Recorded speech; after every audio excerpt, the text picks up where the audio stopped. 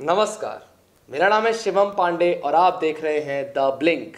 आज सुबह की सबसे बड़ी खबर यह है कि भारत के सबसे बड़े कारोबारी मुकेश अंबानी की कंपनी जियो डिजिटल प्लेटफॉर्म्स में फेसबुक ने 9.99 परसेंट का स्टेक खरीदा है। ये डील तिरालीस हज़ार पाँच सौ चौहत्तर करोड़ रुपए की हुई है और ये इन्वेस्टमेंट इंडिया के सबसे बड़े फॉरेन इन्वेस्टमेंट में से एक है। जियो डिजिटल प्लेटफॉर्म्स मुकेश अंबानी की कंपनी रिलायंस इंडस्ट्रीज़ लिमिटेड का एक पार्ट है और इसी जियो डिजिटल प्लेटफॉर्म्स का 9.99 परसेंट फेसबुक ने खरीद लिया है। अब सवाल यह है कि जिस वक्त पूरी दुनिया में हर सेक्टर में मंदी छाई हुई है, उस समय इतनी बड़ी डील का क्या मतलब है? और दूसरा सवाल कि इस डील से भारतीय लोगों का क्या फ़ायदा होगा? तो इसे ही समझने के लिए आइए शुरू करते हैं आज का अपना एपिसोड, क्योंकि जनता का जानना ज़रूरी है। सबसे पहले बात करते हैं इस वक्त ये डील क्यों और इसे समझने के लिए ये अच्छे से समझना ज़रूरी है कि डील है क्या। देखिए, डील के दो हिस्से हैं। पहला हिस्सा ये कि फेसबुक ने रिलायंस जियो में तिरालीस हज़ार पाँच सौ चौहत्तर करोड़ रुपए इन्वेस्ट करके रिलायंस जियो के 9.99 परसेंट स्टेक खरीद लिए हैं। ये इन्वेस्टमेंट इंडिया में लार्जेस्ट माइनॉरिटी इन्वेस्टमेंट है और सिर्फ़ लार्जेस्ट माइनॉरिटी इन्वेस्टमेंट ही नहीं, बल्कि ये इन्वेस्टमेंट इंडिया में सबसे बड़ा फॉरेन डायरेक्ट इन्वेस्टमेंट भी है। इस खरीद के बाद जियो प्लेटफॉर्म्स की टोटल कीमत, यानी कि जियो प्लेटफॉर्म्स का नेटवर्थ 4.62 लाख करोड़ का हो गया है।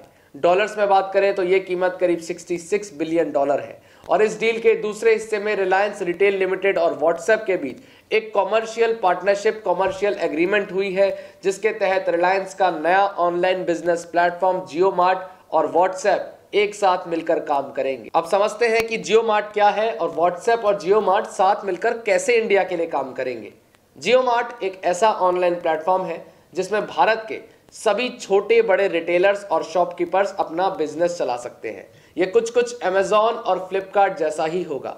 ये एक ऐसा ई कॉमर्स मार्केट प्लेस होगा जिसमें लोकल किराना स्टोर्स और दूसरे दुकानदार लिस्टेड होंगे। मगर इसमें व्हाट्सएप का क्या रोल होगा? तो इसे जानने के लिए इस खबर को देखिए। WhatsApp pay gets NPCI nod for India roll out to be launch in phased manner यानी कि 7 फरवरी 2020 को national payments corporation of India ने व्हाट्सएप पे को भारत में बिज़नेस करने की अनुमति दे दी। व्हाट्सएप पे बिल्कुल गूगल पे और पेटीएम जैसा ही फीचर है। बस फ़र्क इतना है कि इसके लिए कोई अलग से ऐप नहीं होगा, बल्कि अभी जो एग्जिस्टिंग व्हाट्सएप ऐप है, जिसे हम यूज़ करते हैं उसमें ही एक अपडेट के ज़रिए ये फीचर ऐड किया जाएगा।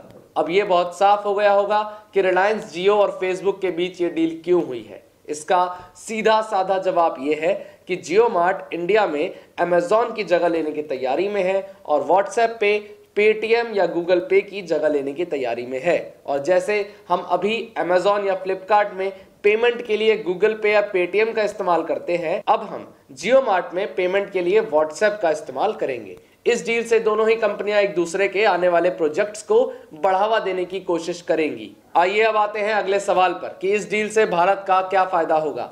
सबसे पहला फ़ायदा तो ये कि इससे स्मॉल और मीडियम एंटरप्राइज जिनकी हमेशा की शिकायत यही रही है कि अमेजोन और फ्लिपकार्ट जैसी कंपनियों ने उनका धंधा चौपट कर दिया है। उन स्मॉल और मीडियम रिटेलर्स और शॉपकीपर्स को जियो मार्ट के ज़रिए डिजिटलाइज किया जा सकेगा। दूसरा सबसे बड़ा फ़ायदा ये कि कोरोना वायरस के जाने के बाद जब इकोनॉमी फिर से रिवाइव करने की कोशिश की करेगी तो उसमें सबसे बड़ी चुनौती कैश वाली खरीदारी होगी। ज़्यादातर लोग नोट के लेन देन से और बाहर दुकानों पर भी जाने से कतराएँगे। और ऐसे में आप सोच सकते हैं कि जब ज़्यादातर लोग कैशलेस ऑनलाइन शॉपिंग पर भरोसा करेंगे, इस वक्त आप समझ सकते हैं कि कैसे इन छोटे दुकानदारों को कितना ज़्यादा नुकसान भुगतना पड़ेगा। जियो मार्ट ऐसे दुकानदारों को नुकसान से बचाने में मदद करेगा। और इसके अलावा एक और बड़ा फ़ायदा ये कि इससे इंडिया में जॉब अपॉर्चुनिटीज़ हाई स्केल पर बढ़ेंगी। देखा जाए तो फेसबुक और रिलायंस जियो दोनों का ही यूज़र बेस इंडिया में काफ़ी बड़ा है और इतना बड़ा यूज़र बेस इनके जियो मार्ट और व्हाट्सएप पे के प्लान को और भी ज़्यादा रियल बनाता है। और एक आखिरी फ़ायदा इंडियन मार्केट के लिए ये कि इस डील के होने से रिलायंस जियो इंडिया के टॉप फाइव कंपनीज़ में आ गई है। साथ ही इस डील के बाद रिलायंस जियो पर जो कर्ज था, वो कर्ज जो रिलायंस जियो को भारत में इंटरनेट और फ़ोन कॉल बहुत सस्ता करने की वजह से पिछले चार सालों में सहना पड़ा था। वो कर्ज भी अब 2023 तक ज़ीरो होता दिख रहा है। और अगर इंडिया की कोई कंपनी प्रॉफिट कमाती है तो उससे इंडियन इकोनॉमी भी मज़बूत होती है। और इसी खबर के साथ अब मुझे दीजिए इजाज़त।